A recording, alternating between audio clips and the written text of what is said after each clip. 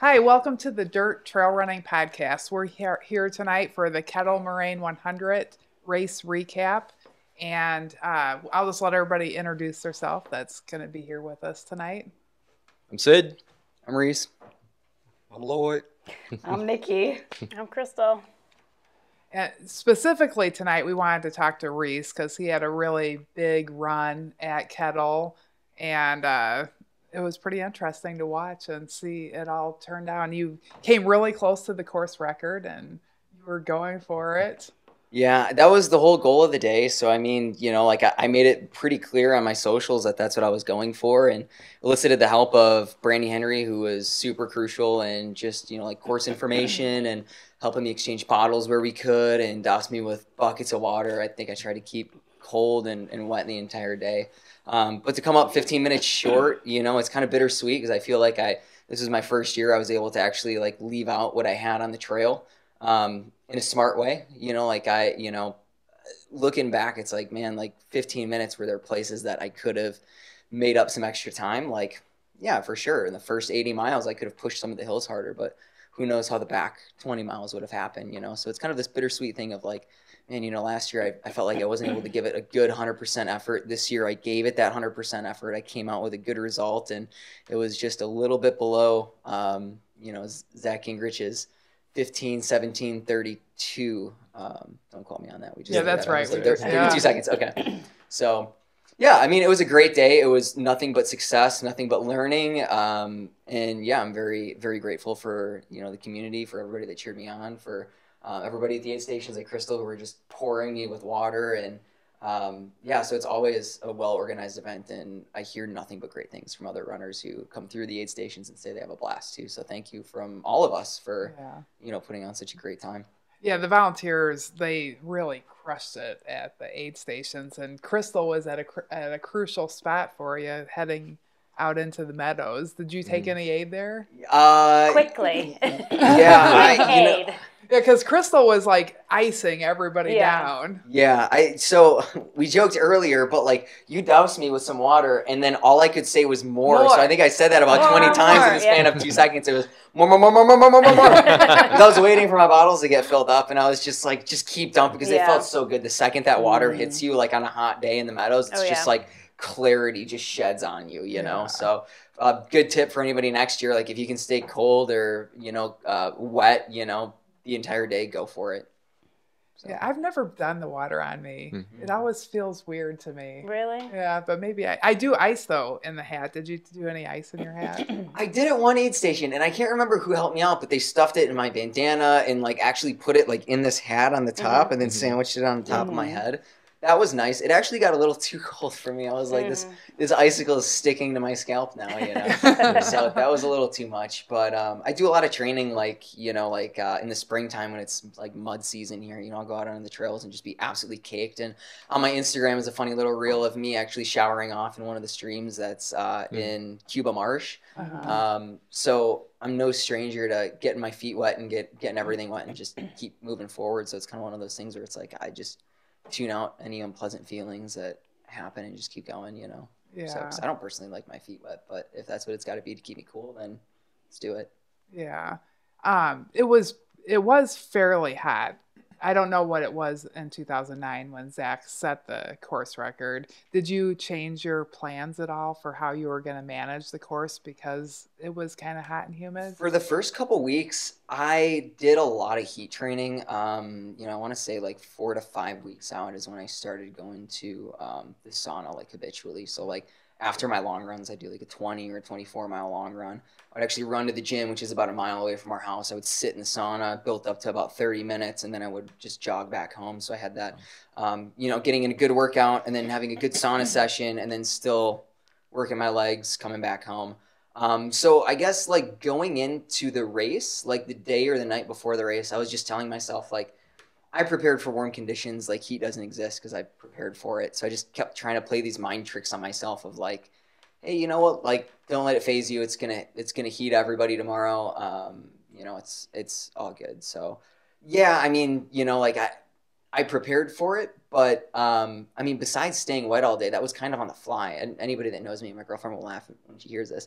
I don't like getting wet. Like she's a triathlete, she loves you know like going out and swimming and doing all that, and she tries to get me into it, and I'm like, I'm a land mammal. I don't I don't particularly like to swim or get wet. So um, yeah, that was kind of on the fly. But um, other than that, I um, you know I tried to visualize a hot day out there and how I would handle myself and um, you know, before the race, I think a lot of problem solving and adaptability comes down to like visualization. Like Coach Scott is great with this, with um, just talking through the race and just going through different scenarios in your head. If it's super hot, if it's rainy, like what are you going to do? So when I was sitting in the hot sauna, you know, like with nothing to do but think about my core temperature go up, I was thinking to myself, what's it going to be like to be at 100K and, and be exhausted at the start finish, near all my friends, near some good mm-hmm. food, mm-hmm. near Matt and Danny, and still have to go back out for another you know 38 miles. So um, running through scenarios like that and like what do i do when it's really hot? What do i do if it starts raining? What if it's super muddy? What if the day's not going my way? What if my stomach goes south? Um, things like that. Then by the time it comes to the race like any scenario i've kind of mentally thought through so i at least have some quick go-to options for um, for remedies for any of those scenarios that plague ultra runners.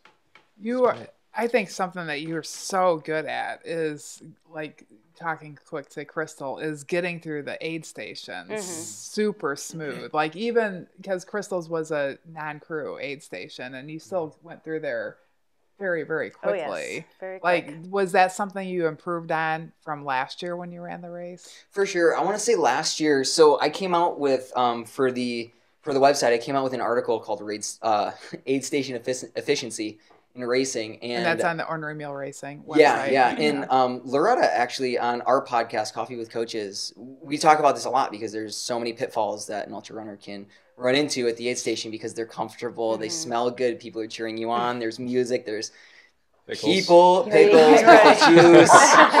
there's Fireball. there's nut butter, Fireball. Sid's cheering you on, giving, giving you his classic woo as you go get on the trail. Um, but um, where was I going with that? Oh, aid station efficiency. So yeah. yeah. I mean, last year during the race is when I started to build. Okay, like when I go into the aid station, I should have my trash in my hand ready to throw mm-hmm. away. My bottles should be unscrewed. I don't carry a lot during these races specifically because I don't want all of these things to be clouding my judgment. I don't want to worry about like where is my such and such in my pack or where is my mm-hmm. trash mm-hmm. or I want to know.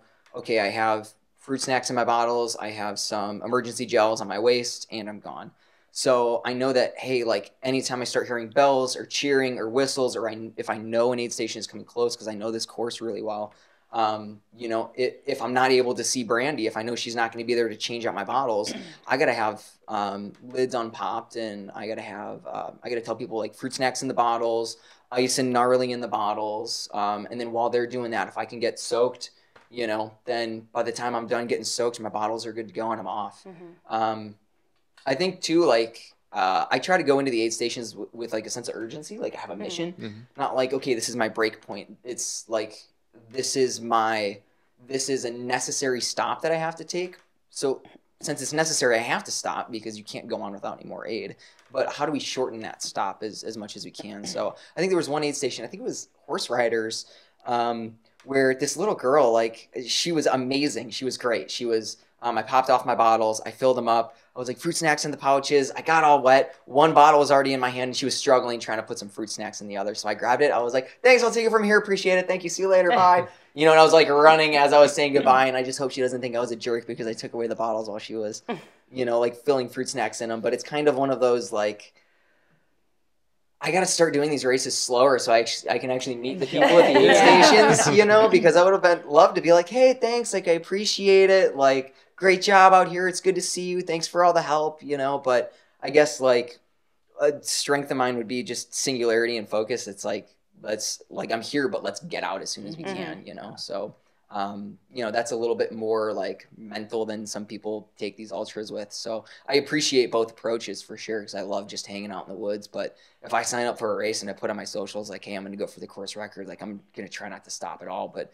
if I do stop, I'm going to multitask. Mm-hmm. I'm going to be peeing while I eat, or you know, like eating while I hike a hill, or dousing off if I'm at an aid station while somebody else is filling my bottles. So any way that I can personally streamline that process is um, is good for me for sure because I am less stressed when I'm actually moving forward. I'm a little bit more, oh, I gotta go, I gotta go, I gotta go.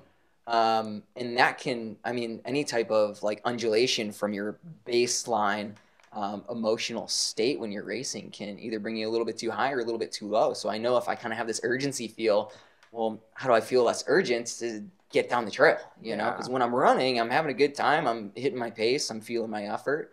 But when I'm stopped, I'm like, you know, like, uh, okay, let's get it going here. You know, um, so yeah, that's just how I how I handle the aid stations. So yeah.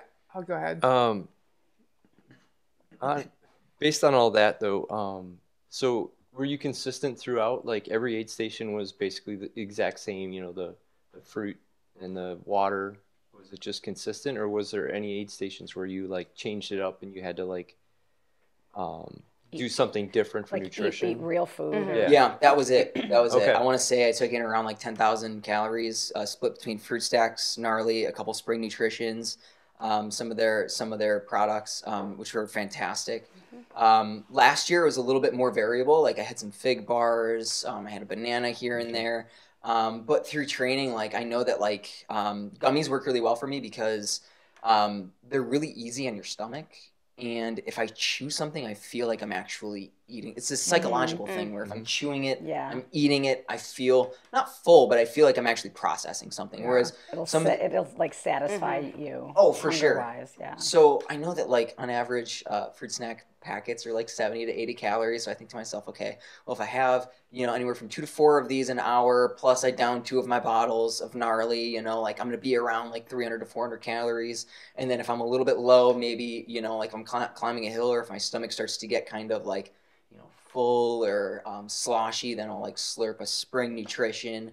Um, so my mind works best in these like parameters. Like I don't think to myself like I need X product X amount of time at X interval during the race. It's more like, man, okay, well, you know, I wasn't really hungry the past 30 minutes, but I know I should get around two to three fruit snack packets. Okay, I feel like I can crush two right now.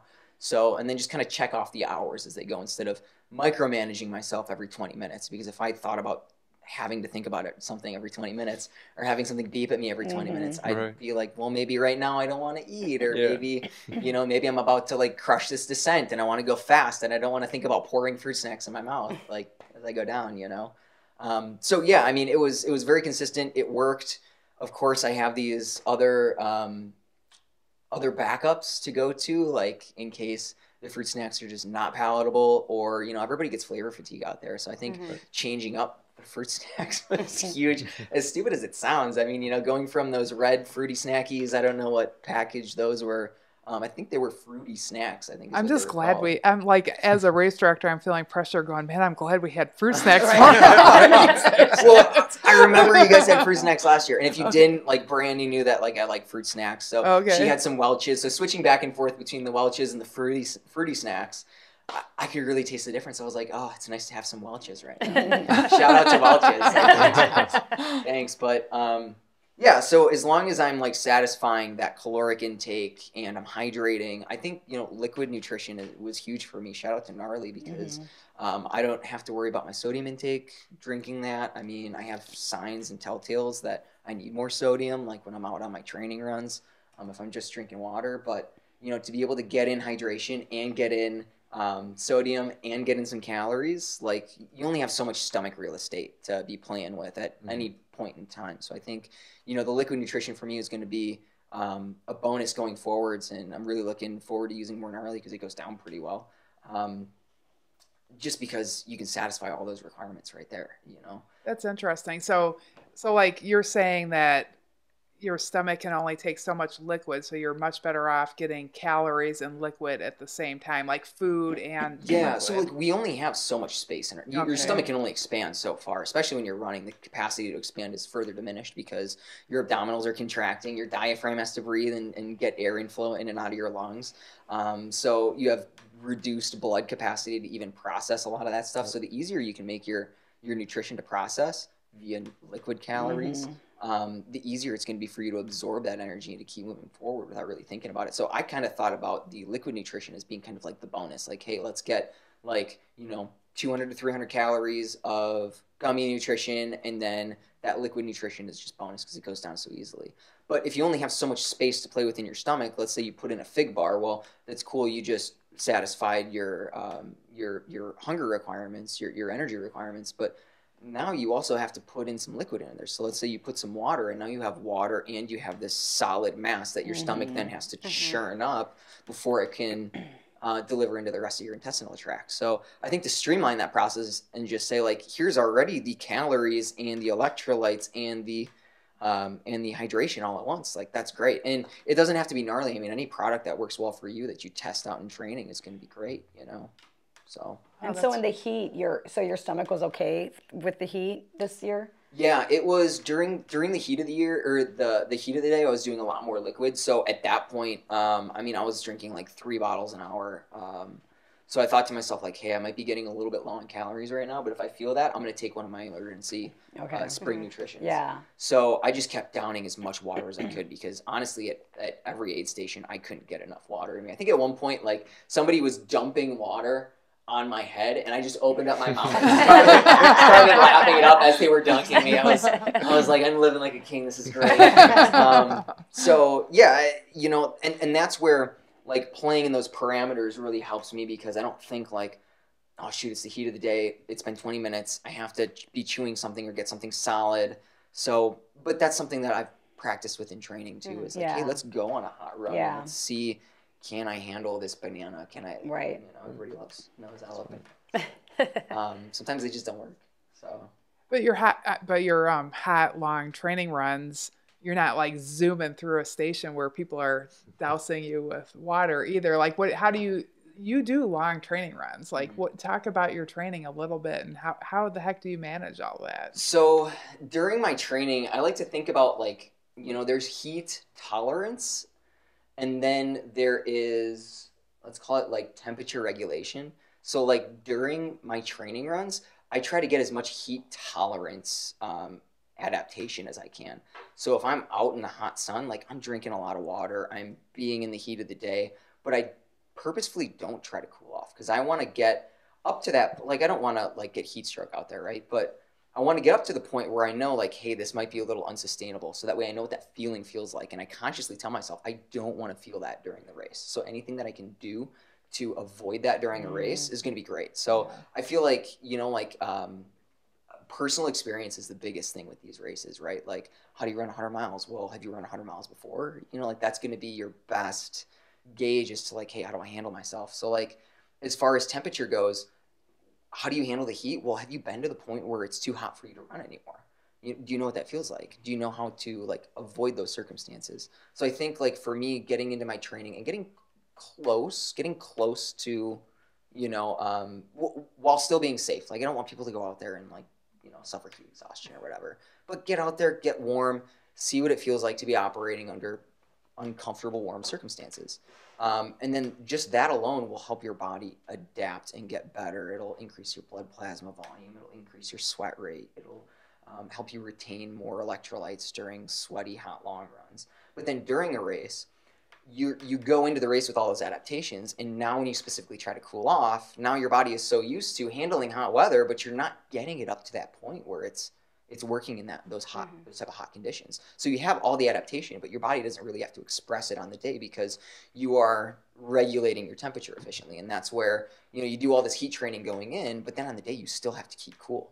You see a lot of athletes do this in Western states. That's coming up in a couple weeks where they'll do sonic uh, runs. They'll do like double layer training runs. Um, they'll do camps out um, on Memorial Day weekend in the canyons, and they'll do their heat training. But then on the day, everybody's you know soaking themselves. They still have ice, um, so it's kind of that that that duality of like get your body adapted to the heat so 85 degrees doesn't feel so unmanageable anymore. But then at the same time, you still got to stay cool during the race. Are you gonna try to get into Western states? You got a couple, or you got a I- qualifier? I, yeah, I you know like I, it's like I, I totally get the allure. I totally get the the history behind it. I think it's amazing. Um, everything. I think is it Craig Thorne? yeah, yeah, Craig Craig, Craig Thornley. Thornley, um, the race director. Um, definitely, like they do a great job. Um, uh, you see all the pros do it. It's got a ton of allure in the United States and the world. Um, but I think the fact that it's so popular, I don't want to put my name in a, a hat because it's taking away from other people that have worked so hard for so many years to get into it. So if I do want to run it, I'll probably try to go for like a golden ticket, um, and that might be a little like uh, that might be a pie in the sky, you know. But I think you know if that's something that I really want, then I should really put the work in and really try to you know uh, ob- obtain it that way, you know. So I feel like there's a lot of people that have earned their spot but haven't necessarily gotten into the race yet for me to want to go and put my name into the hat. Yeah. Well, you earned your your Western States qualifier at Kettle, so uh, yeah, I'm I'm really excited this year for for Western States. I love following along. I follow um, I follow the sport pretty well. Um, so yeah, good luck to everybody running Western this year for sure. Yeah, well, we'll be out there. Um, yeah, I think I think it would be really cool to see you go out there actually, and you could totally get a golden ticket. I don't know what, uh, what all the golden ticket races are, but I think um, Black Canyon 100K would be a fun one. I know that's one of them. I think Black Canyon, Javelina Hunter. I think they added another one. Javelina might be one as is. well. I'm always pro Aravaipa Bandera races. 100K, Canyons 100K, Canyons 100. Yeah.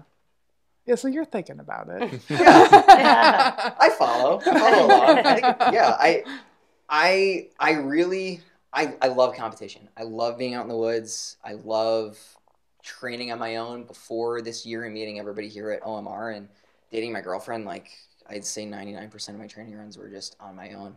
Um, and it's funny because you told me that story of you guys running at Lapham and just seeing, and that's a great example of how there can be a group run happening and I have no idea. I'm just out running on my own and all of a sudden I, I see everybody. So, um, you know, it's kind of one of those things where, um, you know, like I love being out in the woods. I love being on my own. I love self sufficiency and having that experience of being a body in an environment under physical duress and having to use your skills to um, proceed and to navigate.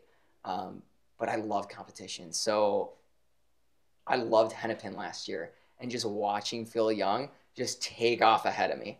And it was great. I loved it. Like, I love pushing myself. I love being pushed by other people. I love pushing other people. And I love getting smoked and learning lessons. And um, yeah, I'm excited to do Tunnel Hill this uh, later on this year because I'm going to be running with Phil uh, too. So can't wait to learn some lessons from those people. So long story short, I would love to go out to Western States and just get it handed to me because that's that's the way that you get better, you Yeah. know. So um, you know, I'm game to put in the training and I'm I'm game to try to cut my teeth against any other competition that's out there and get smoked and learn lessons along the way. And I think that's the best thing about living the lifestyle as well as appreciating and participating in the competition.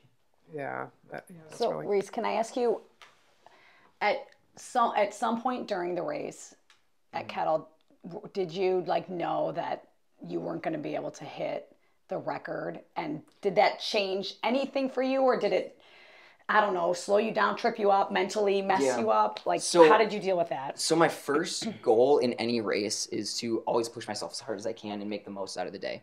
Um, so although I was absolutely going for the course record, just because it started slipping away, uh, which I knew coming through Highway 12 the second time, um, Brandy Hen- Henry, as it was playing out in my mind, she was like, "You got to pick it up on the on the flats, man. Can you push any harder on the flats or something?" And I was like, "Nope, record's not happening today, but I'm gonna push as hard as I can to the finish."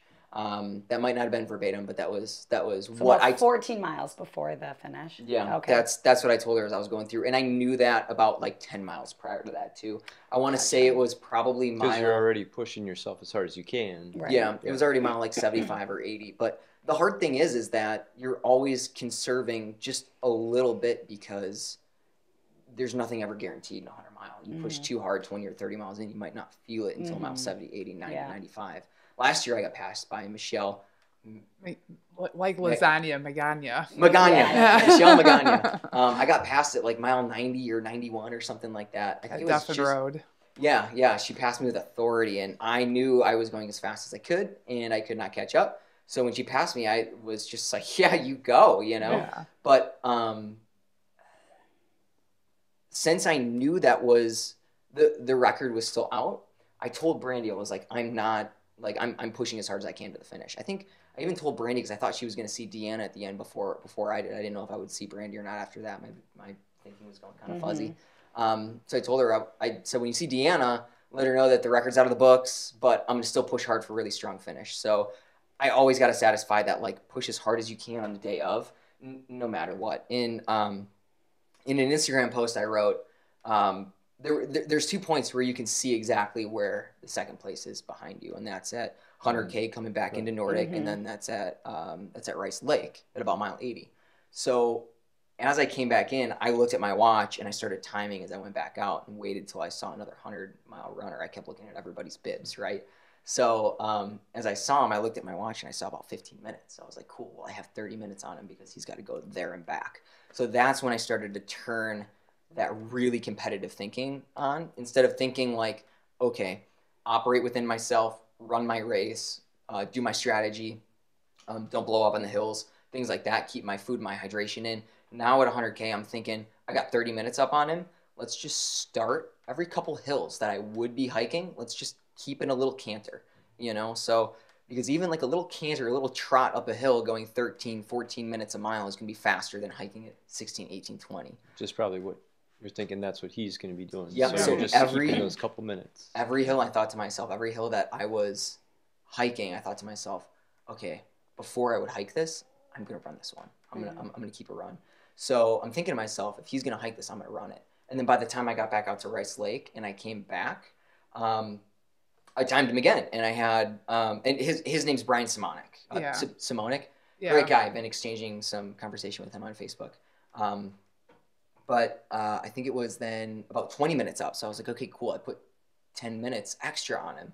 And then I just kept thinking, like, from Rice Lake all the way to the end, it's pretty technical, but it's not super hilly until you hit Nordic. So I was like, I'm going to run everything, everything I was hiking before. And then by the time I got to Nordic, you're about like five, six miles out, especially after you pass Tamarack. I went through Tamarack because I just stopped at Bluff.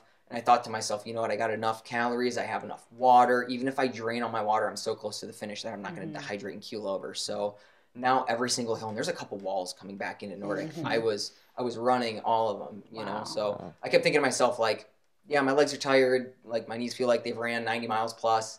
Um, but there's nothing extreme or there's nothing extreme about the pain that I'm feeling. It's just ultra fatigue. It's ultra pain. It's being out there for a long day. So I'm gonna keep plugging away because everybody's experience, experiencing this right now. So how, how bad do you want it? You know, if everybody's experiencing this, then why don't I push a little bit harder if I can?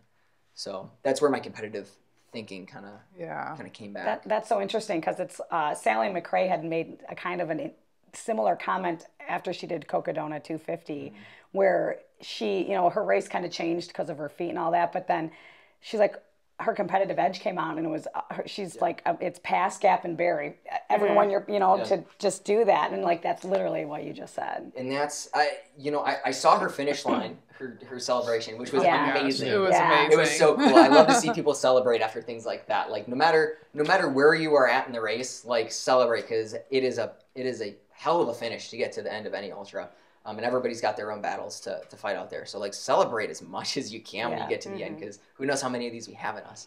But yeah so uh, once I knew that the record was kind of out, um, Brian really gave me something to chew on for the last 20 months because it, it's 20 miles out of a 100 miler, right? So it's like, oh, you're almost done, but no, you still have like a long run Right, plus yeah. on some pretty technical trails with Nordic coming at you. So it's like, you know, you still have like a couple hours of thinking out there. So, um, you know, knowing that he was right behind me and even exchanged a couple funny comments, you know, as I passed him a few times, um, you know, gave me something to chew on and think like, okay, cool, let's let's let's let's bury it let's leave it out there let's put him put him behind us um, it sounds really competitive and cutthroat but like you know i think like i love to see everybody else push themselves super hard so i also love to push myself super hard so um, yeah i mean like he he ran by all means he ran a phenomenal race start to finish i think he's in the top top 10 leaderboard too um, for, for Yeah, race it was his first hundred. yeah And he learned from you. He listens to your podcast. oh awesome cool. thanks brian so yeah, um, you know, he skateboards and plays guitar too, so we kind of come from a similar background. And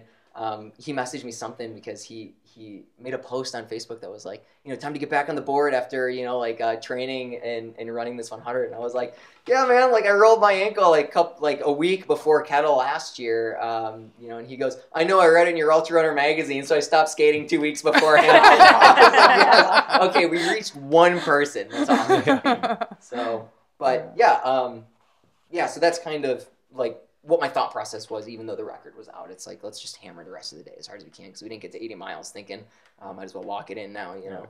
Yeah, that's awesome. I think it's really good to to celebrate the competitive because I think that no matter what you know what speed we are, we can be competitive. Like if I'm running a race, even if you know I'm going to finish in 8 hours for a 50k or something, I still am going to want to race the person that's in front of me. It mm-hmm. gives you a mm-hmm. good motivation and I don't think that we should apologize for that. I think that's good. I mean, that's helps us be the best that we can be. I think it's an absolutely healthy amount of respect for the sport, respect for the people, and respect for the fact that everybody's out there trying to push themselves as hard as they can. So if you were the person helping somebody else push themselves, or y- you know you are pushing yourself, or you're pushing somebody else, like by all means go for it. I mean, you know, like leave it out there on the trail, but I think it's some FDR quote that's like, you know, like when you step into the arena, you're you're playing the game.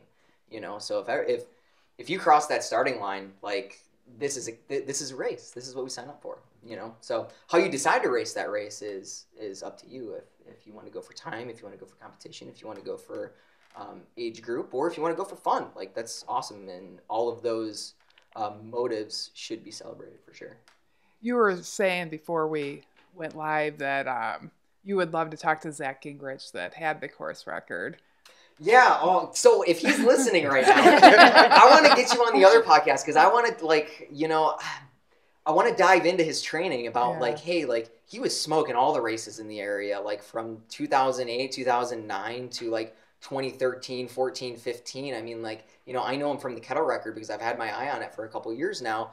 Um, but you know, I did sign up for, um, or I'm I'm looking at um, Des Plaines. This is that, is that how you say it? The plane. The DPRT, Yeah, the yeah. planes. Yeah, the the 50 mile there, and like I saw his name up again. Uh-huh. So then like I'm clicking into his profile and I'm looking at all of his races. And I'm like, Badwater 135, like all these.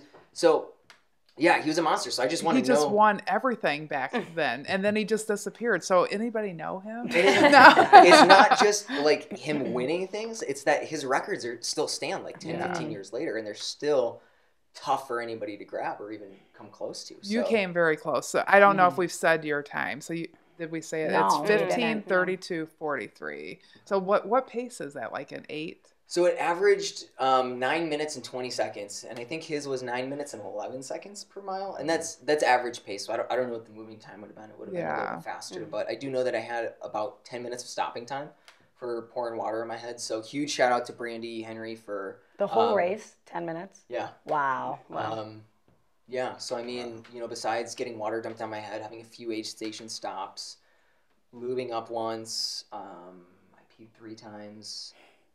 Those were all in the ten minutes.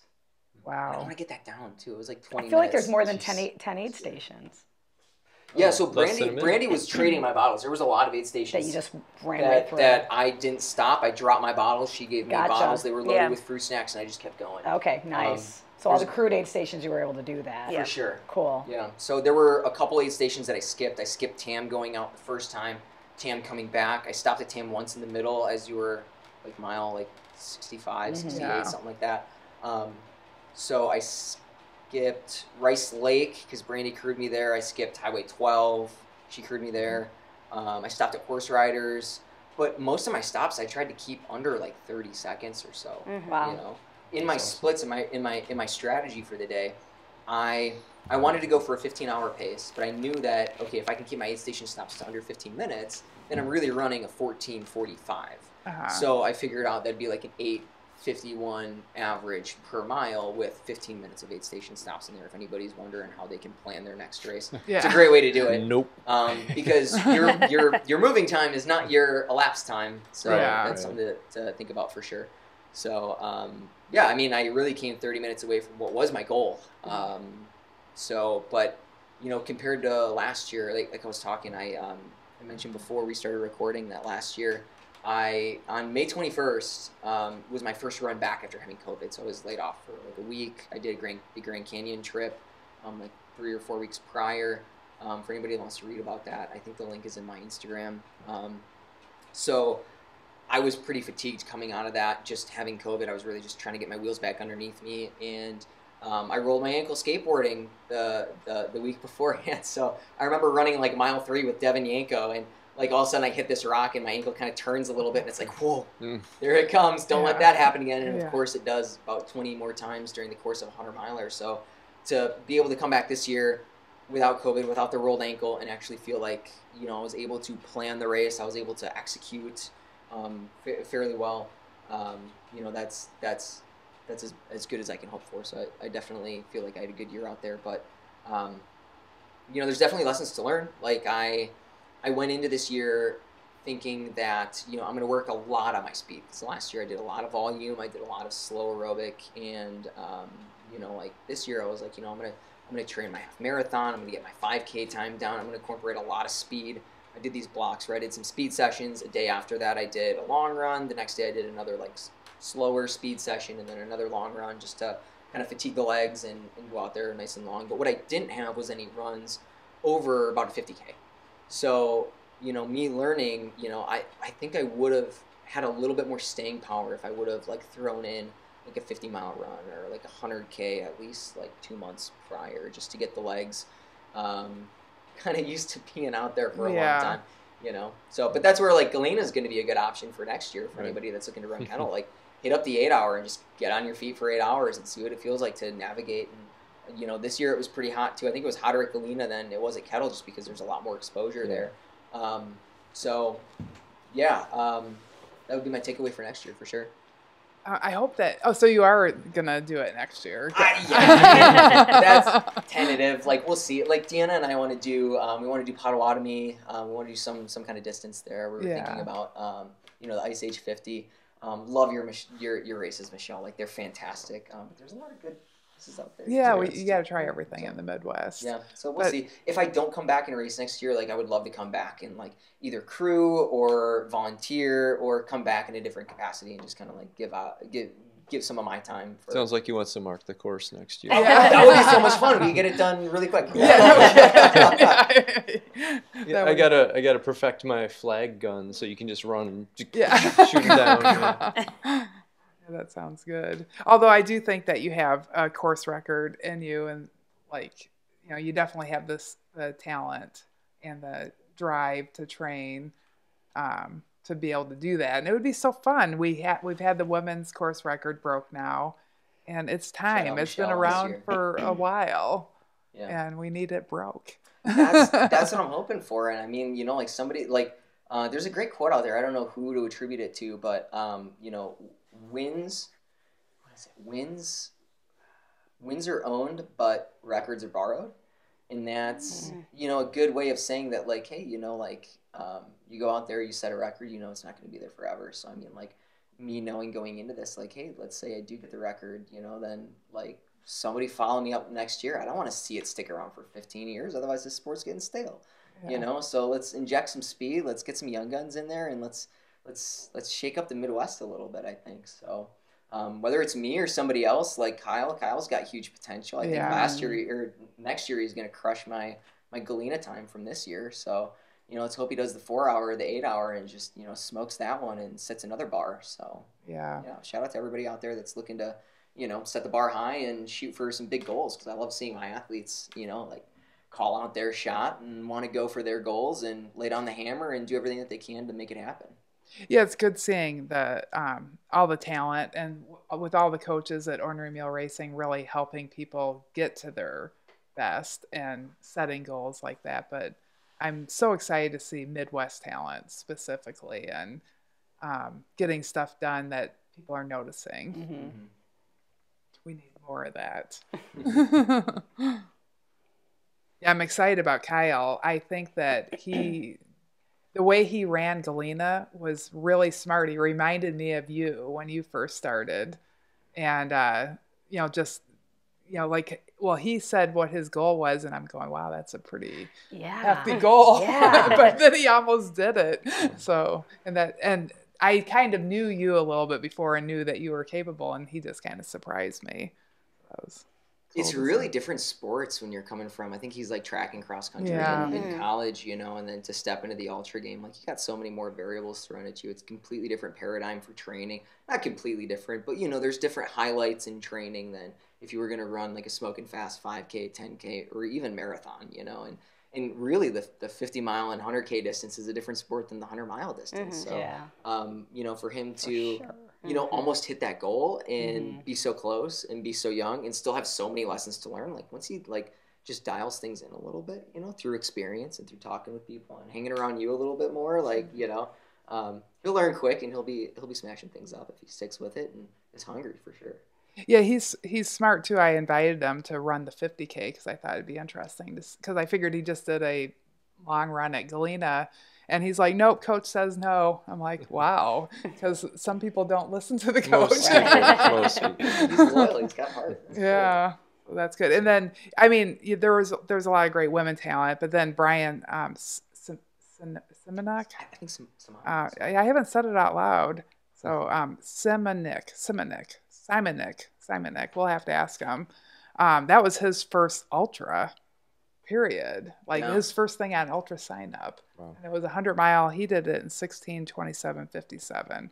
And so he signed up for Midwest States and Hennepin Okay, awesome. this year. So And I think that just goes to show, like, you know, like, uh, if you don't have a lot of experience and you're looking to get into the sport and you're looking to Just- shake things yeah, up, Just just jump to the hundred. Just jump to the hundred. Yeah. Skip everything Just- else. yeah. You never know. Don't listen to anybody. Oh Go for the hundred.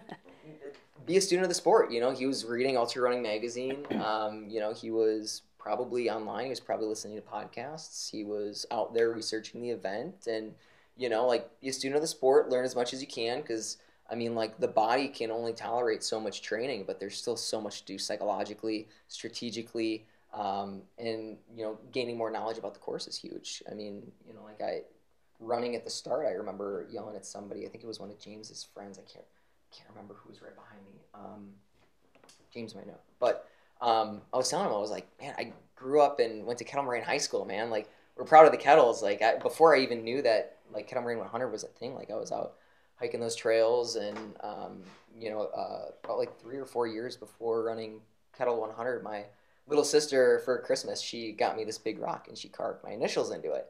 And um, we went through and we, we tossed it at my favorite section, which we run past on the Kettle Moraine 100. So it was great as we went past that section. I, you know, like yelled at her in my head. I was like, "Love you, Kaya." You know, like, um, so having that type of course knowledge and knowing exactly what's going to come up ahead of me and where the prairies are and, and where the technical parts are and um, just things like that really help you set your efforts from the start, which is huge because you don't want to go out with a blazing 5K if you're running a 100 mile race. You know, Yeah. like, doesn't matter how fast you go at the beginning, it matters what your 100 mile time is.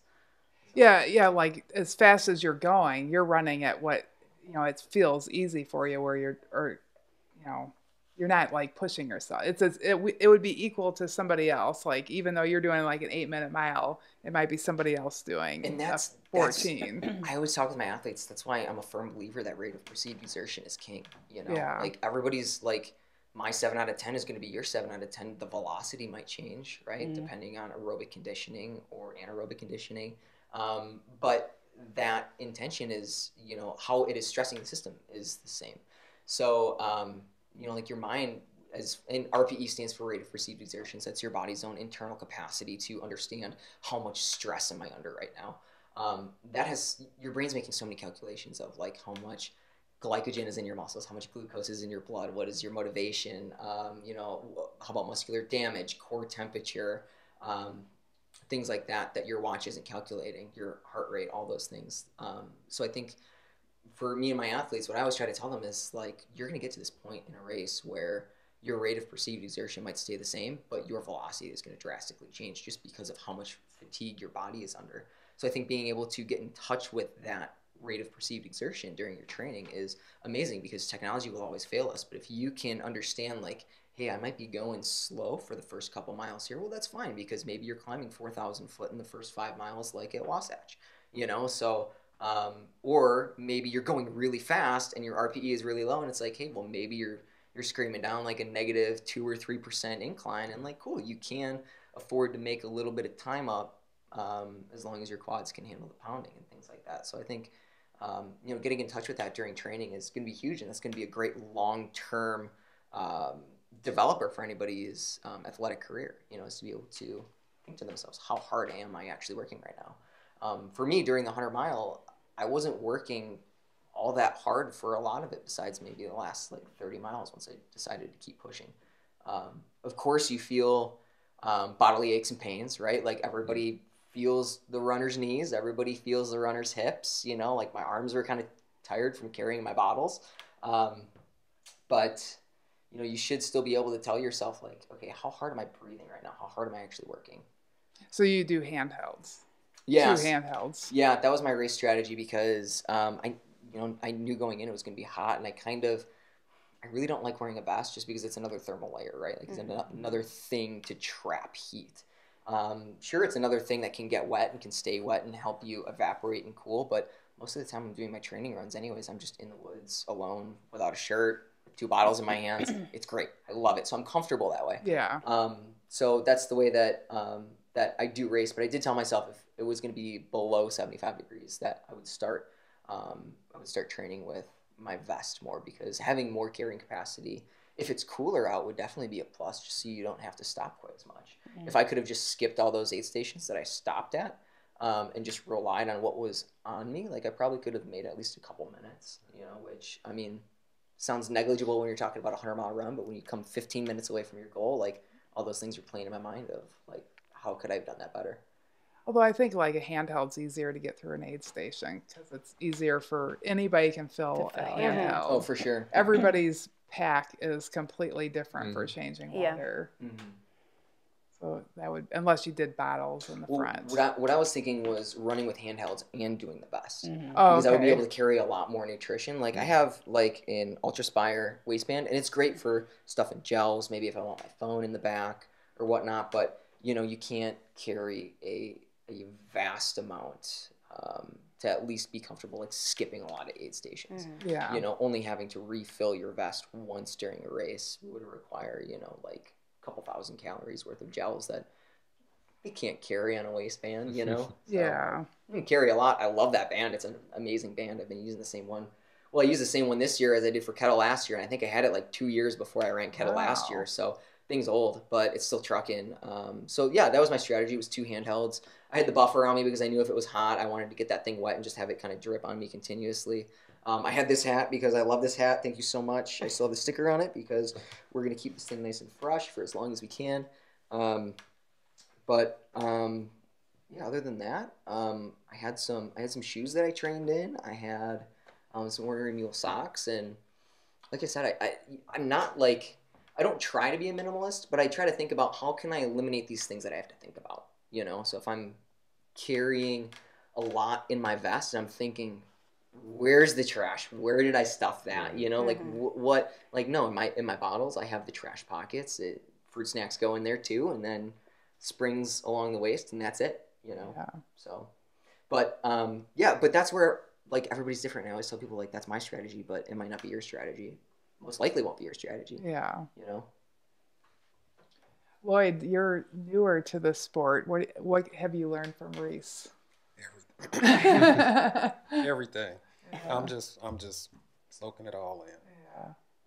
And this is a little bit more, you know, like neurotic than maybe like a lot of people would get in their ultra runs. Like go out there, like have fun. Like I'm talking about this like it's like life or death, you know what I mean? But you know, like when I sign up for a race, like I want to push myself. I want to push other people around me, but you know, during training, like I would say 80 to 85% of my training is just going out, logging in some miles, going where I want to go, going to a forest preserve, running flat if I want to run flat, going on the hills if I want to. Veteran Acres is awesome for getting some elevation change.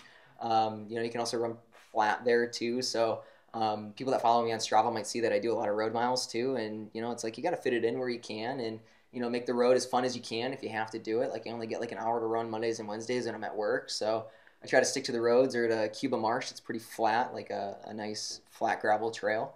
Um, but try to have fun with it out there, you know, and then every once in a while, one, maybe two days a week, think about like, hey, what do I have coming up on the calendar? And how is this session going to prepare me for that? You know? Yeah. So otherwise go out there, collect heartbeats, like have fun, like, you know, eat some food while you're out there so that you know what you're gonna like on race day. Like drink some hydration and some calories so that you know what's gonna go down well on race day and, you know, um, get out there and have a good time. You um, mentioned your Instagram. What's your Instagram handle? I think just my first dot last, but my last is crazy. Oh, we can so look it up. let me spell it. R e e s e dot s l o b o d i a n u k. That's what it is. Okay, yeah. Okay. Now you need to say it. Slobodianuk. Wait, say it again. Slobodianuk. Slobodianuk.